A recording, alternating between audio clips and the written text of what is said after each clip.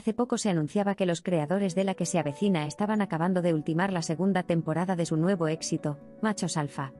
Esto era una muy buena noticia dado que, en cuanto acabaran las grabaciones, empezaban con la décima cuarta temporada de la comedia de éxito de Telecinco.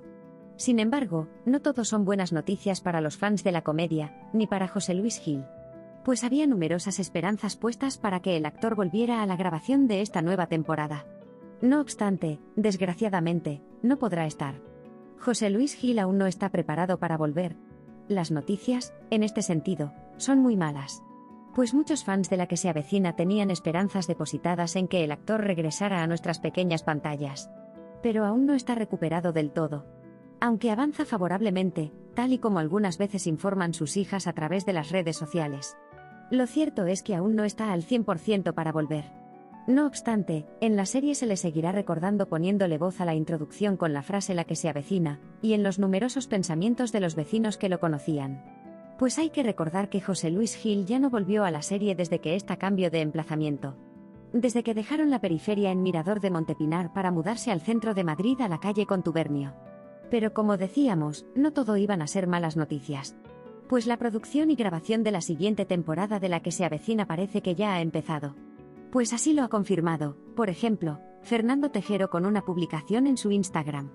Aquí con unos amigos que igual os suenan, escribía el actor y compañero de José Luis Gil. En la misma foto aparecen Jordi Sánchez, Loles León, Miren Ibarguren y Macarena Gómez.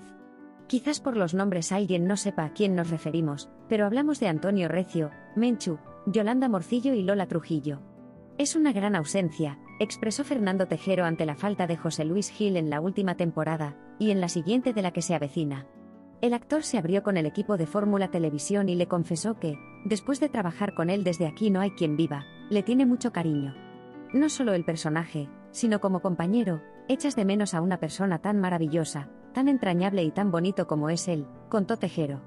Esperemos que se recupere lo antes posible y lo mejor posible, decía por su parte Carlos Areces.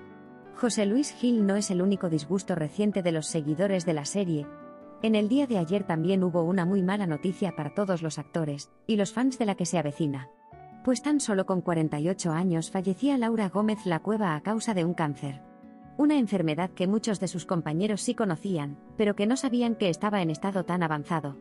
Así le han mandado sus últimos mensajes muchos de sus compañeros de cameo y, en especial, de los productores. Así, Laura Caballero, que la conocía ya desde la grabación de El Pueblo, escribió ayer nos encantaba hacernos fotos de mierda cogiendo mal las cosas del fondo. Y siempre, en todas, se partía de risa y te la contagiaba. Porque la risa de Laura era el mejor virus que se te podía meter en el cuerpo.